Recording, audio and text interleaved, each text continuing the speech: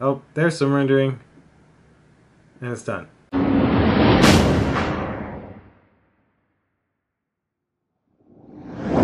Just realized one of my lights is up. As many of you may know, I bought the new base model iMac, the 1299 M1 iMac that only comes with a 250 gigabyte solid state drive. And by the time everything's said and done, you get like 220 something. So me being a YouTube creator, I definitely need more storage than that, so I connected an external drive and then went into Final Cut Pro and shifted everything to go over to that external drive. Now, I can say I've not really ran across any issues with this. It's a little slow to render and I know that has to be due to this drive. So in this video, I'm gonna test it out. I'm gonna take my iMac and I'm gonna use the same 25 or so minute video in Final Cut on the regular hard drive external, just to see how long it takes to render on that external drive. Then I'm gonna connect a one terabyte Samsung solid state drive that I'll then change all the settings in Final Cut to the solid state drive and we'll then put that same 25 minute video in Final Cut again and see how long it takes to render. So let's see if the solid state drive is uh, really worth it in the long run if you're using this type of setup with the base model iMac. So click that like button, click subscribe, indulge in your life at indulgeclothing.com for the merch, and now let's get into this.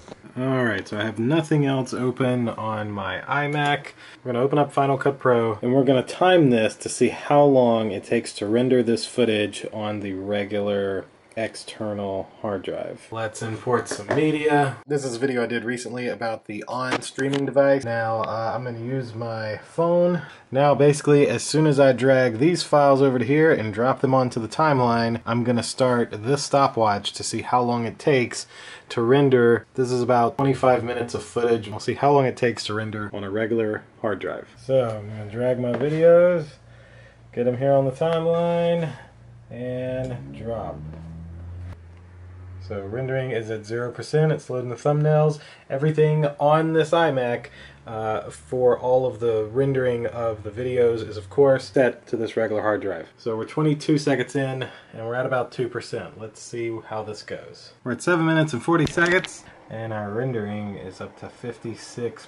So we're at 75% now, and we're just over 10 minutes. 12 minutes and 30 seconds, and we are at 89, almost, there it is, 90% rendering.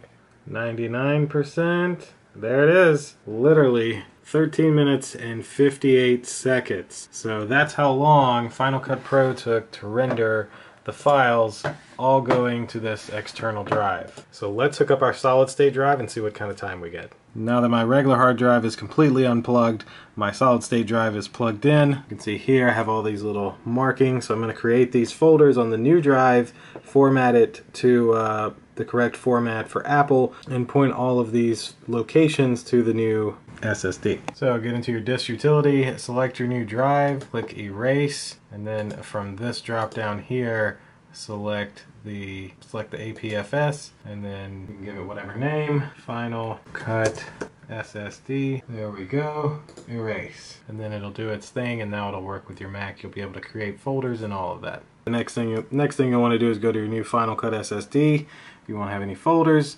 and create three folders that match all of these names. There we go. We've got our three folders made on our Final Cut drive. We can then come over here and select choose location. So select our Final Cut drive, select media, choose, and now media is selected on the external drive. Let's do the other two.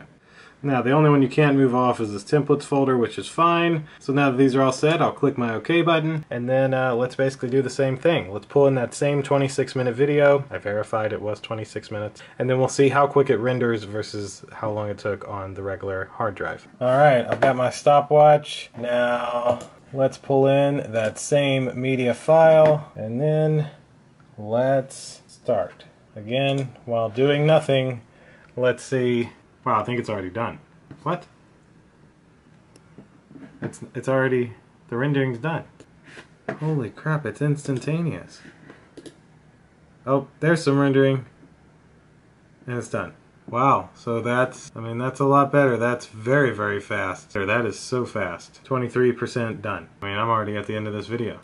So, uh, I mean, 12 seconds isn't even right. Literally on this on the solid state drive, the rendering is basically instantaneous. Amazing. Wow. Well, there you go. That's uh, that's the answer. I must say I'm quite surprised. I thought I was going to be waiting at least a couple of minutes, but it was literally instant. As soon as I dropped in the video, it was done, and it takes it like a split second or two to render something else. This should make my video editing on this base model iMac even smoother. You could of course get bigger than a one terabyte drive, a two terabyte, three terabyte, but this one seems to work perfectly fine and has more than enough space. Now right now it is just ran on this USB-C like SSD cable. I am going to get a real enclosure for this. I just don't have it yet. That real enclosure though will be a USB-C enclosure where I can put the solid state drive in there and I mean, considering it's already instant compared to like 14 minutes, I don't see it getting any better. So if you have a base model iMac and uh, you're running out of storage on your local iMac, I would definitely suggest either one of these $15 cables with a large SSD or an SSD enclosure uh, to use as your external drive for Final Cut. That's at least what I'm seeing here. Hopefully this video has helped someone out. If you can, click that like button for me, click subscribe, indulge in your life at indulgeclothing.com for the merch, and we'll see you in the next video. Deuces.